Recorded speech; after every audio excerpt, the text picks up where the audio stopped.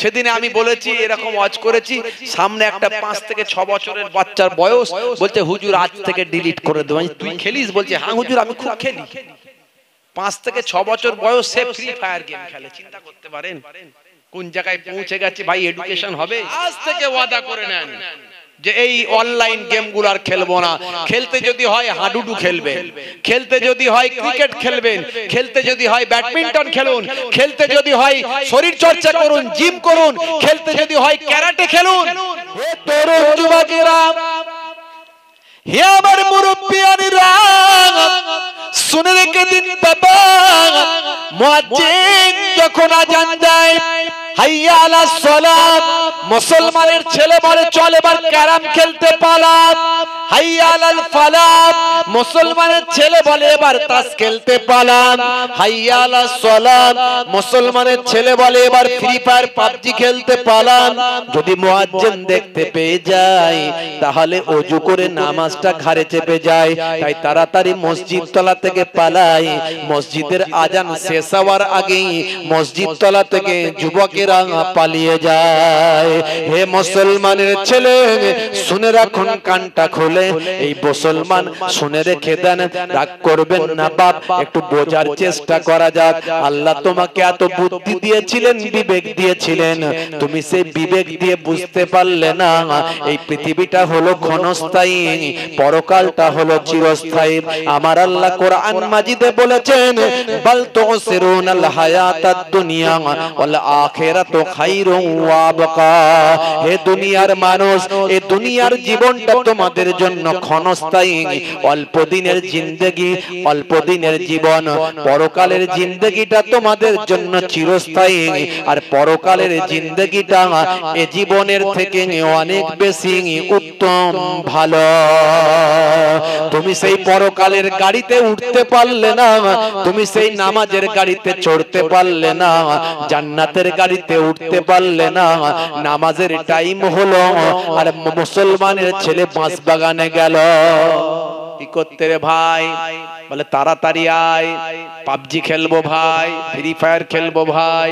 মুসলমানের ছেলেদের দেখা যায়, ছয় থেকে ছত্রিশ এরা জীবন করে দিয়েছে ফিনিশ ছয় থেকে ছত্রিশ জীবন করে দিয়েছে ফিনিশ দেখবেন যত পাঁচতলা আর গাছতলা সেখানে চলছে ফ্রি ফায়ার আর পাবজি খেলা। কথা ঠিক না ভুল ভাই। হ্যাঁ দেখেছেন? চাচা একদম ফুল বুঝতে পারছে। বলে ঠিক একদম যেটা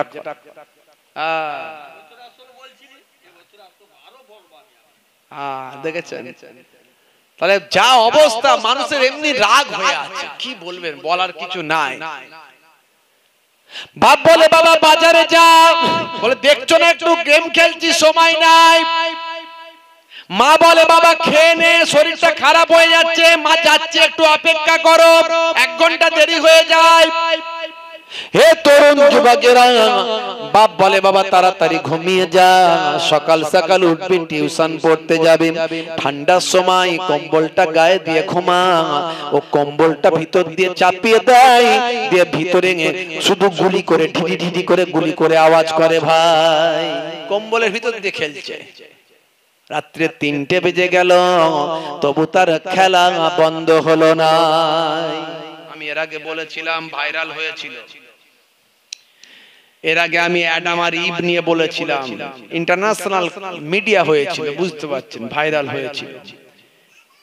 অ্যাডাম ইভ নিয়ে বলেছিলাম, কারণ অ্যাডাম আর ইভের চরিত্রে আদম নবী মা হাওয়া আলাইহিস সালামকে বোঝানো হয়েছিল, সেখানে লিখে দেওয়া হয়েছিল পরিষ্কার, believe to be the first man to walk this earth, believe to be the first woman to walk this earth. আমি এর দ্বারা বুঝিয়েছিলাম, বলেছিলাম যে এই গেমের চরিত্রে আদম নবী এবং মা হাওয়া আলাইহিস সালামকে এখানে নিয়ে আসা হয়েছে। আমাদের নবী, আমাদের নবীর স্ত্রী আম্মাজানকে এই গেমের চরিত্রে নিয়ে এসে অপমান করা হয়েছে। মুসলমানের ছেলে, তোমরা যদি মুসলমান হয়ে থাকো, এই গেমটা এখনই ডিলিট করো, কারণ এটা হারাম। কারণ নবীকে অপমান করা হয়েছে। নবীকে সামান্য অপমান করলে তার ইমান চলে যাবে। হাজার হাজার ছেলে ফ্রি ফায়ার গেম খেলা ছেড়ে দিয়েছে। ভাইরাল হয়েছিল ইন্টারন্যাশনাল এমন ভাইরাল হয়েছিল যে বিভিন্ন ভার্সান চেঞ্জ হয়ে গিয়েছিল, আপনারা জানেন অনেকে। অনেক মানুষ পেয়েছে, এমন কোন জায়গা নাই যে মানুষ পায়নি আমার বক্তব্য। শুধু ভারতবর্ষ নয়, বাংলাদেশ থেকে শুরু করে পৃথিবীর বিভিন্ন জায়গাতে ভার্সান চেঞ্জ হয়ে পৌঁছে গিয়েছিল। শেষে দেখা গেল এক থেকে দেড় মাসের মধ্যে কোম্পানির কাছে খবরটা পৌঁছে গেছে কোম্পানি অ্যাডাম আর ইভের চরিত্রকে পাল্টে দিয়েছিল। কথা ঠিক না। তারপরে আবার কোম্পানি অন্য ক্যারেক্টার চেঞ্জ করে ক্যারেক্টার ঢুকিয়ে দিল। মুসলমানের ছেলেরা আবার খেলা আমাকে মাঝে মাঝে বলে হুজুর এখন তার অ্যাডাম আর ইভ নাই তো খেললো অসুবিধে কি? আমি বলি দেখো বড় নেশা। নেশা হলো ইসলামে হারাম। নেশা হলো ইসলামে হারাম। হে মুসলমানের চলে তুমি মিরাদুন নবীতে যাও। জুম্মার দিনে ফাঁস কাতারে দাঁড়াও। এক মাস ধরে রোজাটা রেখে দাও। কেউ হাত পাতলে দু চার টাকা না দিয়ে তুমি পালাতে পারো না গো।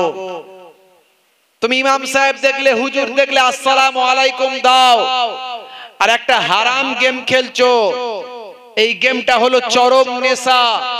আমি সেদিনও বলেছিলাম, আজও বলে দিয়ে যায়, এই ফ্রি ফায়ার পাবজি অনলাইন গেমগুলো হলো মারাত্মক নেশা।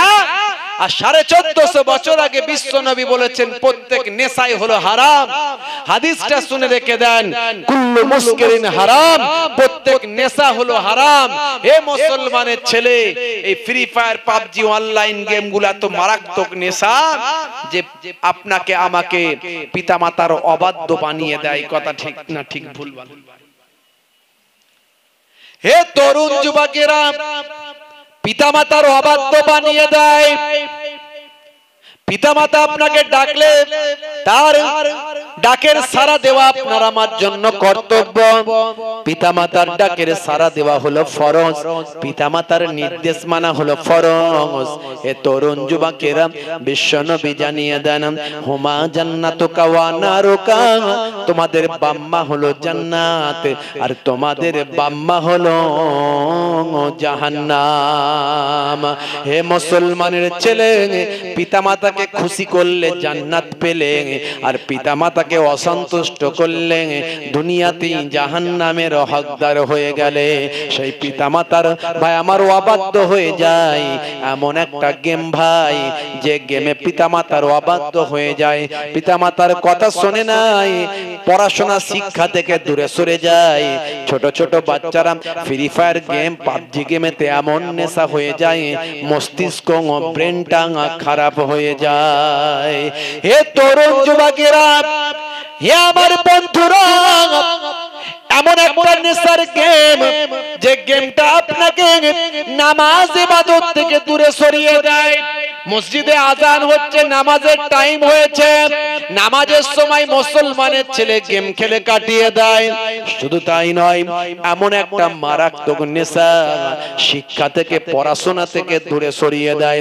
বিবেক বোধ জ্ঞান বোধ বা আমার বুদ্ধিবোধ সবকিছু লোপ পেয়ে যায়। তাই এমন মারাত্মক নেশা রাসূলুল্লাহ সাল্লাল্লাহু আলাইহি ওয়াসাল্লাম সাড়ে চোদ্দশো বছর আগে বলেছেন প্রত্যেক নেশাই হলো হারাম। হে তরুণ যুবকেরা একদিকে নেশা হারাম আর একদিকে দেখেন এই অপচয় খরচা হয়, কথা ঠিক না ভুল ভাই। এতে নেট খরচা হয়, সময় খরচা হয়, পয়সা খরচা হয় এমপি খরচা হয় ক্যারেক্টার কিনে পয়সা খরচা হয় বিভিন্ন ভাবে বুদ্ধি খরচা হয়। এটা হলো সবটাই হলো অপচয় খরচা। হে তরুণ যুবকেরা, ইন্নাল মুবাজ্জিরিনা কানু ইখওয়ানি শায়াতিন অপচয় খরচাকারী হলো শয়তানের ভাই। এই ফ্রি ফায়ার পাবজি গেম যারা খেলে, দুদিক থেকে একদিকে হলো নেশা আর একদিকে শয়তানের ভাইয়ে পরিণত হয়ে যায়। তাই আমি বলব, হে মুসলমানের ছেলে, তোমরা যারা গেম খেলো, আজ থেকেই ছেড়ে দেবে, না হলে শয়তানের ভাইতে পরিণত হবে।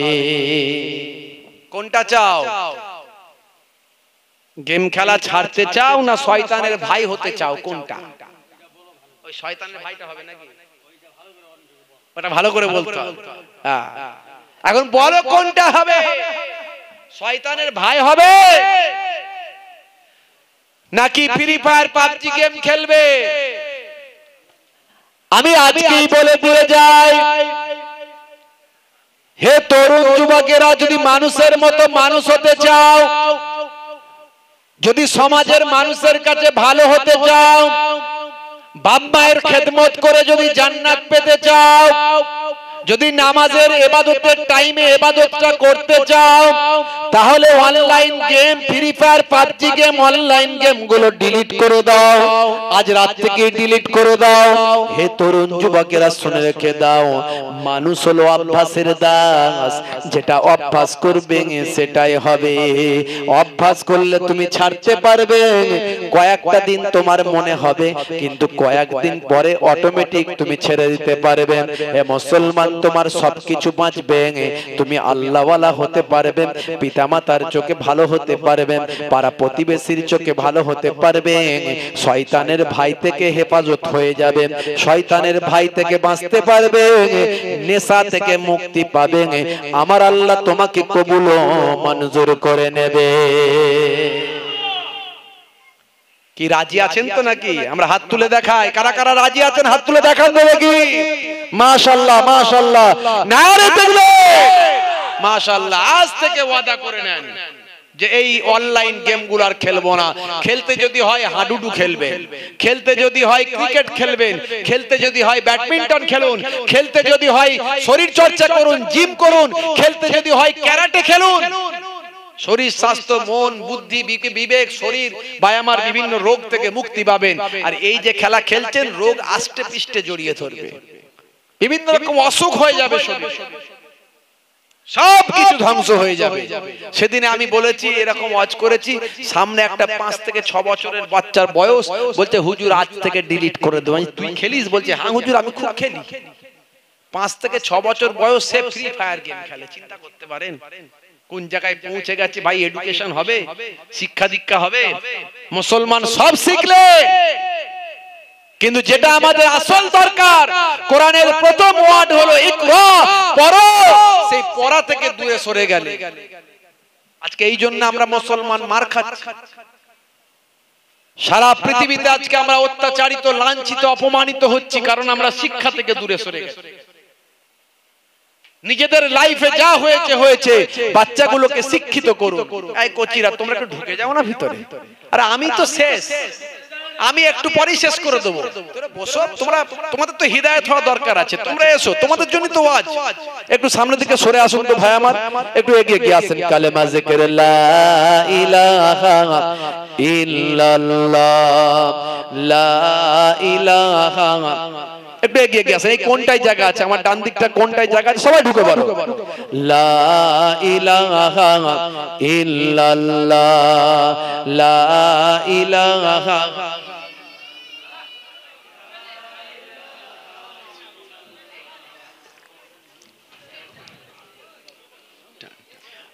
لا إله إلا الله لا إله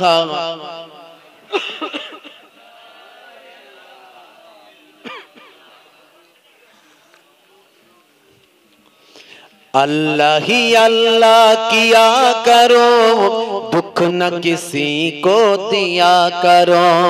जो दुनिया का मालिक है, नाम उसी का लिया करो।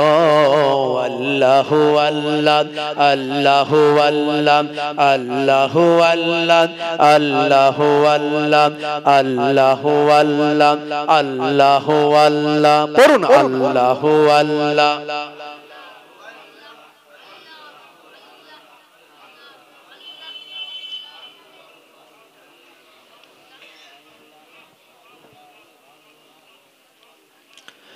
নবী বলেন, দয়া করো, দুঃখ দিও না কাউকে। জালিম মানুষ মৃত্যুর পরে জান্নাতে পাবে না যে। নবী বলেন, দয়া করো দিও না কাউকে জালিম মানুষ মৃত্যুর পরে জন্নতে পাবে না যে দুঃখ না কিসি को दिया करो अल्लाह ही अल्लाह किया करो जो दुनिया का मालिक है नाम उसी का लिया करो अल्लाह अल्लाह अल्लाह Allahu Allah, Allahu Allah, Allahu Allah.